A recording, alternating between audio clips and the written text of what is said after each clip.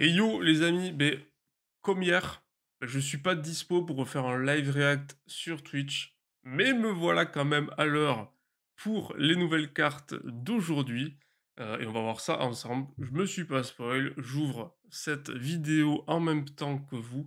On va voir les nouvelles cartes de suite, c'est parti.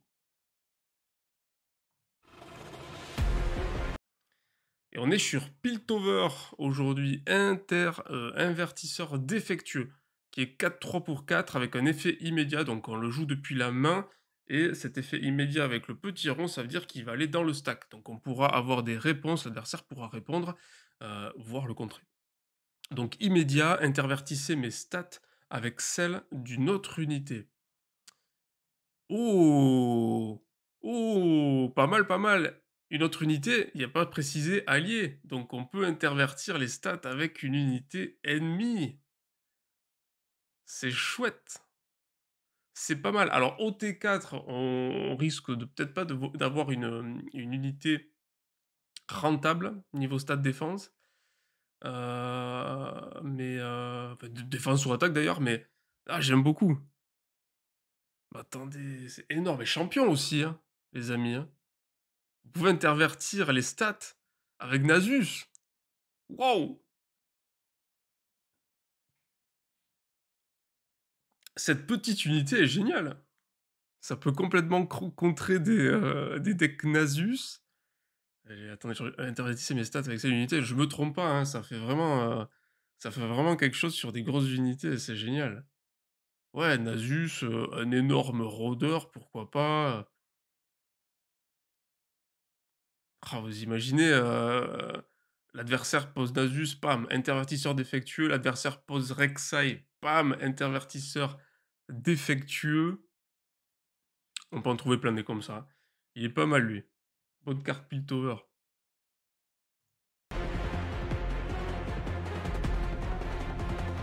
L'artwork est génial. OK, donc ça c'est son spell, la compétence. Intervertissez ma puissance et mes PV avec ceux d'une autre unité.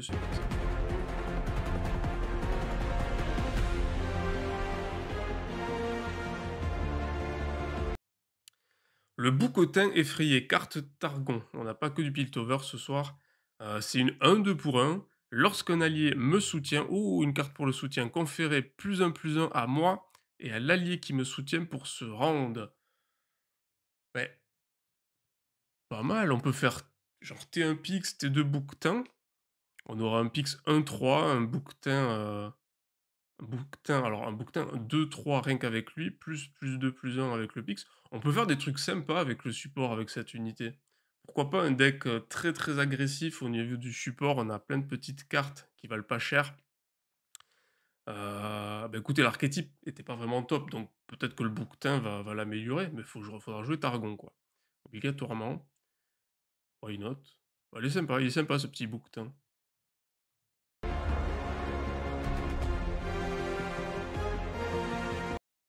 Bah, pareil, hein, l'artwork il est, heu il est cool. Attendez.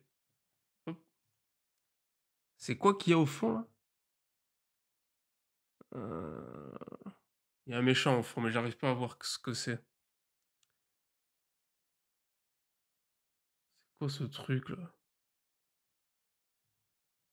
On voit on voit pas bien, on voit juste la gueule.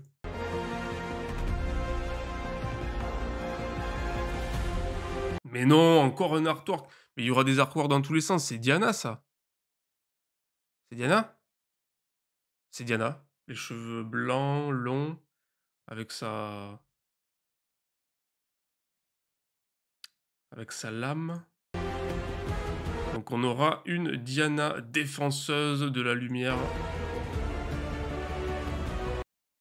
Waouh! Oh c'est pété. Franchement, heu, cette illustration de carte, elle sera trop pétée. Elle est trop belle.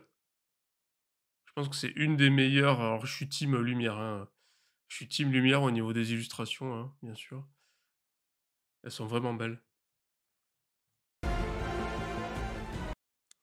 Bah, écoutez, voilà, petit lot de cartes d'aujourd'hui, dites-moi ce que vous en pensez en commentaire. Les illustrations font bien plaisir. Et on se retrouve demain pour, des nouvelles révélations. Bonne soirée.